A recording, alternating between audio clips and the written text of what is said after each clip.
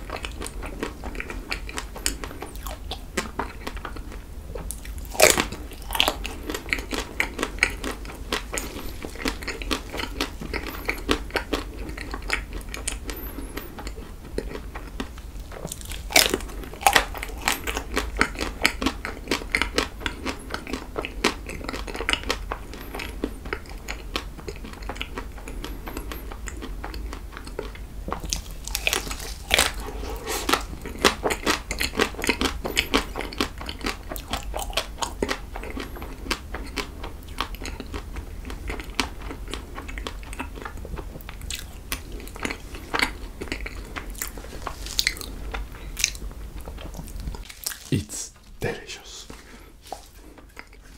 알함드릴라 오늘도 맛있게 잘 먹었습니다. 이 초콜릿 아이스크림들이 원래 한국에서 없는데 수육으로 지금 들어간 거예요. 정말 맛있었어요. 네, 항상 행복하세요. 안녕.